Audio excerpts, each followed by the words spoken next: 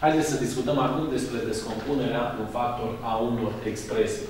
Și avem un exercițiu, un prim exercițiu în care se cere să descompunem în factori mai multe expresii. Prima dintre ele este 5x plus 5y plus 5z.